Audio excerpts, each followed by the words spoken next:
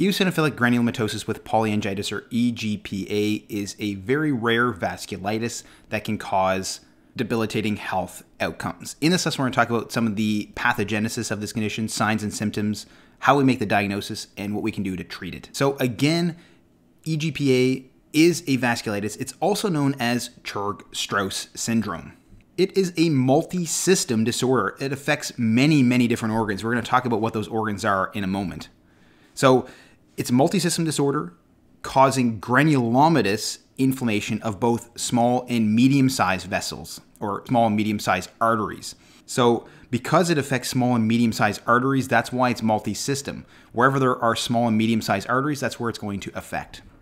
And what is key to this condition is hypereosinophilia, so very high levels of eosinophils with infiltration of those eosinophils into different tissues in the body. So it causes a variable clinical presentation. It can cause anything from allergic rhinitis or asthma to even myocarditis and pericarditis. So a lot of things can occur with this condition just because of its widespread multi-system effects. So the epidemiology of this condition is that it has an onset in the 20s to 40s. The mean age of on, onset seems to be around the age of 40, but there are various stages of this condition that occur even earlier than that. And what is the etiology? A lot of times it seems to be hereditary. There is some genetic component. There seems to be an autoimmune component to this condition. And then there's also associations with certain medications. And the one I want to talk about here is leukotriene receptor antagonists or medications with the suffix lukast. So you can think of montelukast or Singulair. These leukotriene receptor antagonists are actually asthma medications, and they can be used to treat asthma, but they can actually increase the risk for Churg-Strauss. Other medications that can increase the risk for Churg-Strauss syndrome include medications like steroids and cocaine. So I talked about this before. There are certain stages of eosinophilic granulomatosis with polyangiitis. Those stages are the first one is a prodromal stage. This generally occurs in patients in their 20s and 30s. They present with atopic disease, and atopic disease, you can think of the atopic triad. Allergic rhinitis is one of them and asthma is the other one. Those are the two big ones that you're going to see with this prodromal stage. So, runny nose, asthma, like wheezing, shortness of breath, those types of signs and symptoms. The next stage is known as the eosinophilic stage. And as its name implies, we get hypereosinophilia, increased eosinophil count. This is when organs begin to become unhappy. The high, high amounts of eosinophils begin to infiltrate organs, leading to granulomatous inflammation. And the most common, a lot of times you see the lungs, you see the gastrointestinal tract being infiltrated, you can see the skin being infiltrated, many different organ systems. We're going to talk about a variety of symptoms that we can see with this condition in the next couple of slides. The third stage of this condition is the vasculitic stage. The vasculitic stage is in the 30s to 40s. So the eosinophilic stage is kind of in between the prodromal stage and the vasculitic stage. It could occur maybe in the 30s. The vasculitic stage occurs a bit later, 30s, 40s. Remember, the mean age of onset is around 40.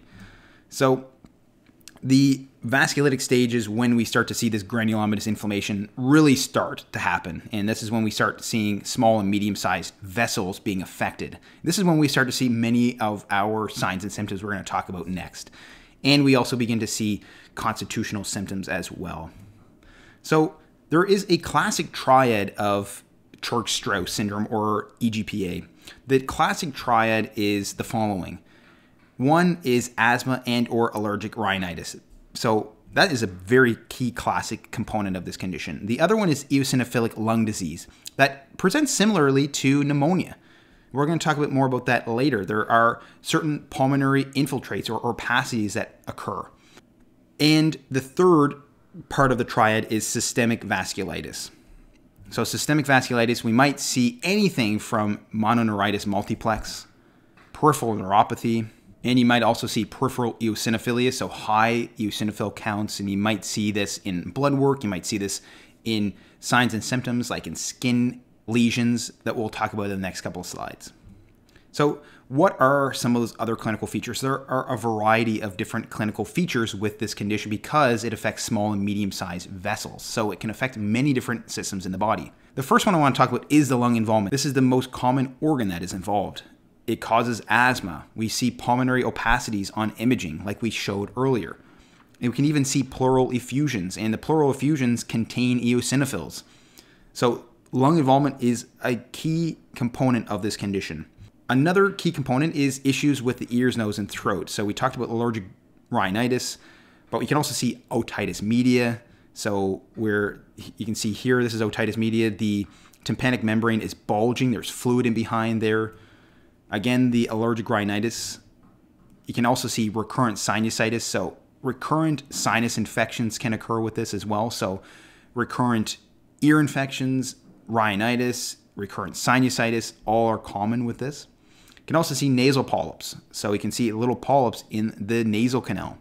There are many other clinical features. We talked about this earlier. Peripheral neuropathy is one. This is also very common. Three quarters of patients seem to have peripheral neuropathy with this condition.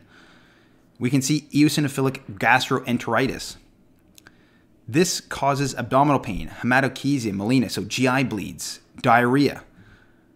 There's also cardiac involvement. This is probably the most significant cause of mortality. can lead to pericarditis. You might also see myocarditis as well.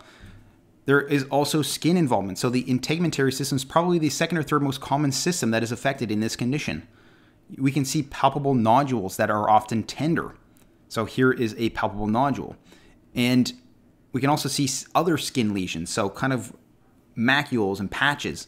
And I mentioned this before, there's constitutional symptoms, especially in the third phase of this condition. So, constitutional symptoms, especially occurring in the vasculitic phase, and this includes fever and weight loss and fatigue.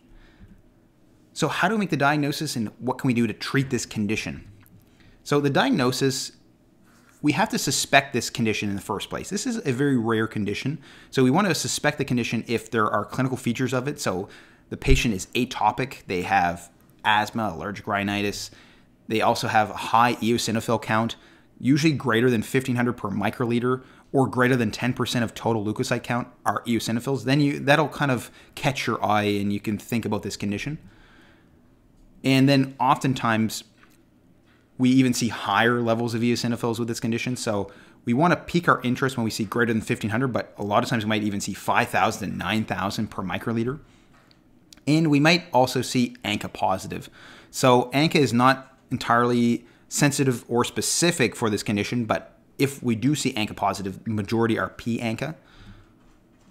And the American College of Rheumatology has developed a criteria for diagnosis of this condition. So we need four or more of the following six in order to make a conclusive diagnosis of eosinophilic granulomatosis with polyangiitis. So the first criteria is having asthma. The second criteria is having greater than 10% eosinophils. The third criteria is mononeuropathy or polyneuropathy. The fourth criteria is pulmonary opacities that are either migratory or transient. So a lot of times you might see these pulmonary opacities on chest x-ray and then you check it again and they've actually moved or they're gone or they come back. So we might see this with eosinophilic granulomatosis polyangiitis. The fifth is paranasal sinus abnormalities. We talked about this before, recurrent sinusitis. And the sixth is actually taking a biopsy of a blood vessel and showing accumulations of eosinophils. This is going to be essentially, in a lot of ways, a gold standard test for this condition. So these are the six criteria. We need four or more of them to make a conclusive diagnosis according to the American College of Rheumatology. Once you make the diagnosis, how do we treat it? Treatment involves systemic glucocorticoids. This is the first line therapy. A lot of times patients will recover and go into remission with this condition. If the condition is severe, if there's many, many organs that are involved, we might have to add cyclophosphamide. Almost majority of the time, these two at least will cause a remission of this condition. And this condition is a chronic condition. We have to use maintenance therapy after using the glucocorticoids and cyclophosphamide. We need to use maintenance immunomodulators like azathioprine or methotrexate. So those are the medications we need to use. So again, what I want you to take from this slide is that diagnosis of this condition is very difficult in a lot of ways. There's a lot of clinical variety with this condition. There's a variable presentation, but what I really want you to think about is if the patient is asthmatic, they have allergic rhinitis, they have some of those other symptoms I talked about earlier, but also very, very high eosinophil counts. You want to think about this condition. And then go through the ACR criteria. If you see four or more of those criteria, that's the diagnosis.